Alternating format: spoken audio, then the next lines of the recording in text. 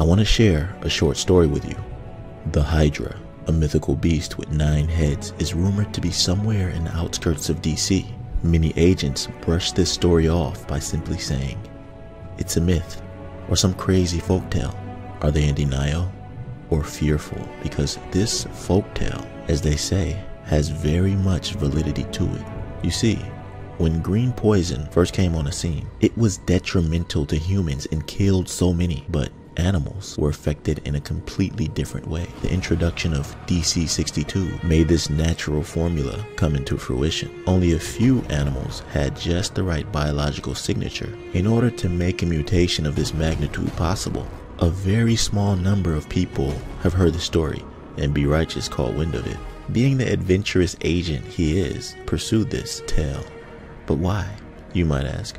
Who in their right mind would even want to find such a beast?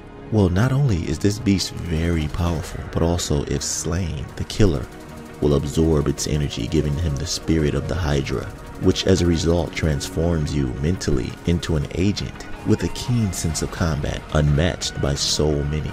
So you ask, why? Well, who amongst you does not want to become legend?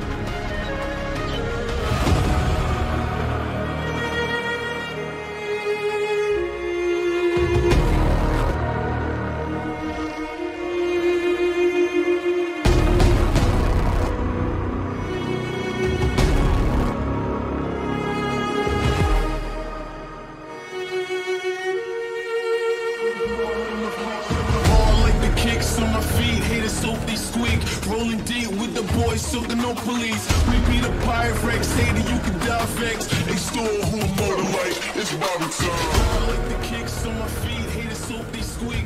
Rolling deep with the boys, soaking no police. We be the Pyrex, hater, you can die vex.